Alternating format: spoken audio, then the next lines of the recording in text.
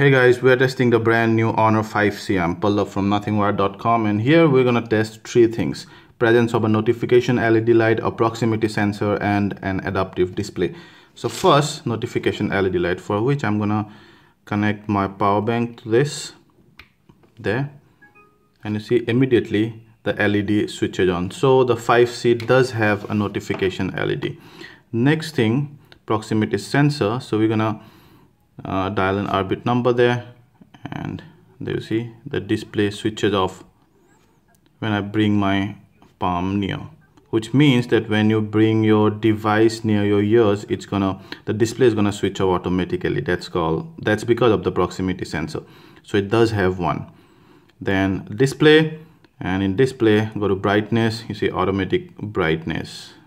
So I can easily switch this off and that's the lowest brightness that's the highest brightness kind of washes off the colors.